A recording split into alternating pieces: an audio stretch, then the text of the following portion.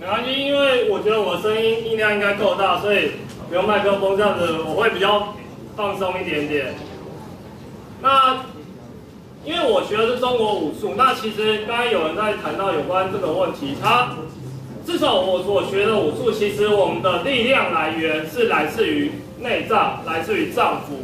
为什么会这样讲呢？因为其实我们的脏腑跟我们的肌肉，它有一些很类似的地方，就是它周围呢也是有很多所谓的筋膜来把这些脏腑包覆住。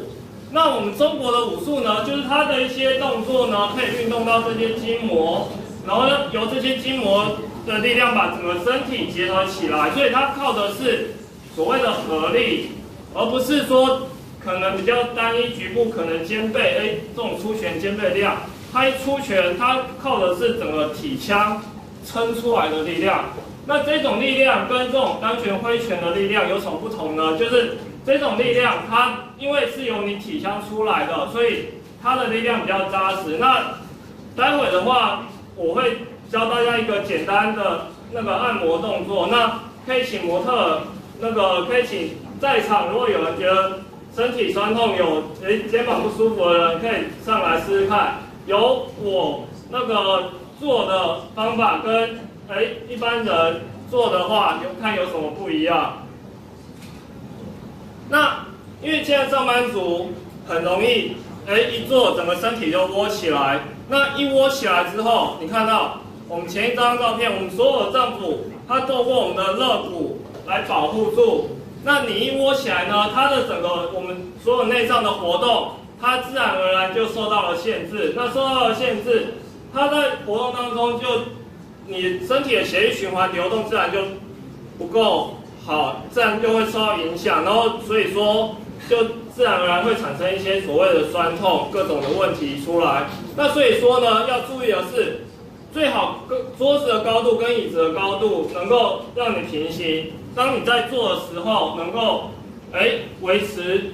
身体的力量是可以垂直的这种动作，这样子的话，然后而且在坐椅子的时候呢，有一个很重要的点，就是尤其腰腰不容易酸痛的朋友，脚不要这样缩起来。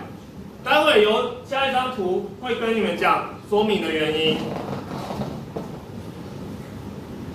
然后第二个呢，就是我要讲的，就是跟呼吸有关系。大家可以看到。我们的肋骨啊，还有我们的背部，它周围其实有很多很多的肌肉群把它给包覆住。所以说呢，当我们一旦紧缩的时候，我们的呼吸就容易不顺。所以说，因为我们一般人都常做那个向前的动作，所以要让这些肌肉得到舒展呢，所以要做很简单的反向运动。那像这个动作呢？就是你们在上厕所，或者是起来走动，在等公车的时候，像我刚才其实我自己，因为觉得自己身体紧绷，我自己在底下我就有在做各种的反向运动，来放松自己，让自己在不管在呼吸或者身体的压力方面可以更放松。那还有一个很重要的点，就是很多人晚上容易想东想西，睡不着，然后失眠的状况的话，耳朵。周围到牙齿这边，这边是一个很大的关卡，因为我们你看哦，这个肌肉图的话，其实这边一旦用力，我们的耳朵周围这边牙齿一旦用力，你整个背部它其实都会整个紧缩起来。那你一旦紧缩起来，你自然而然就不容易那个放松。所以说，当晚上失眠想睡觉又觉得睡不着的时候，就按摩耳朵周围。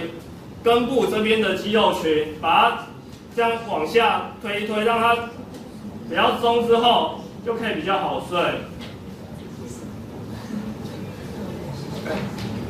好，这边的肌肉群，呃，刚才的话忘了讲一件事情，就是当脚的肌肉缩起来的时候啊，其实腰部肌肉群也会跟着收缩。你们。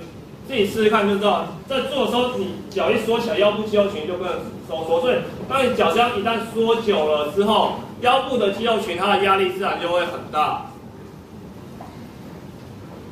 然后走路，刚刚看到我们的表演者，他们为我们能够做出这么好的掌控，是因为你看他们的其实身体是很稳定，他们我们人走路的时候身体可能会哎这样动来动去，但是他们不会，为什么呢？是因为他们使用核心的肌肉群，在我们脊椎周围的肌肉群，一般人走路的话可能哎会用到外部的肌肉群，但是像他使用内侧肌肉群的时候，再走起来就很稳定。所以让他为我们哎一个跳跃动作，能够身体几乎保持不动，肩膀状况几乎保持不动，因为在核心的肌肉群当中，它那个力量结构就可以很顺畅。然后还有一个重点就是膝盖的方向就是前进的方向。有些人的话，因为身体习惯关系，外侧肌肉比较紧或内侧肌肉比较紧的时候，走路可能会那个。比较膝盖就有点外八或是内八，那这样子的话，其实就是代表你的膝身体不是处于平衡的状况。那不是处于平衡的状况，长久以来，你哎膝盖周围的比较紧绷的地方的话，它的血液循环就比较不好，就会开始产生所谓酸痛的问题。好，然后在上下楼梯的话，影响又更大了。所以说，其实。在走路的话，能够运用到内侧肌肉群，这样走的话是，对于你在前进跟后退当中是能够最为顺利的。那有有兴趣知道的人，那我需要可能做比较详细的解说，那就私底下再来找我。好，那现在的话就是要为大家介绍一些简单按摩方式。有没有人自愿来当一个模特？有吗？现场有没有觉得身体比较不舒服的想要？哦，不好意思，我最近很这边很紧啊。很紧，那借我两张椅子。啊，谢谢。哦，太好了，太好了。好好谢谢谢谢。来，呃，请坐在后面这一张。哦，它很简单，对，第一个就是你脚开一点，对，好，在做的时候就是要让脚能够垂直，然后这样的话，你在工作的话是最。轻松的，好，然后第二个，来把你的手放在，呃，一只手，一只手就可以了，对，靠着头靠着，对，然后一只手放在这里。我现在要做动作，其实就是针对他这边的肩胛骨按摩之后，它可以让这边肋骨去活动到，它可以去活动到我们脊椎周围的肋骨，肋骨一旦活动开来。你的身体自然而然就不会绷得那么紧，就是这一个很简单的动作，你的手就直接搭在这一块肩胛骨上面，然后另外一只手去感受它，像这位先生的话，他刚好就是脖子在这一条肌肉群绷得比较紧，那我就透过这个动作来把他这边的肌肉群做个伸展。可以大一点没关系。而且重点就是因为我们在做的时候，我们要先感受到我们动的地方。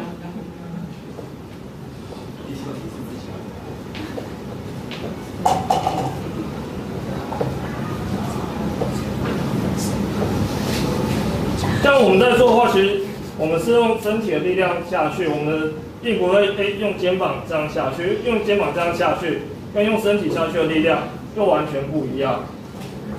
它它自然而然就比较能够深入。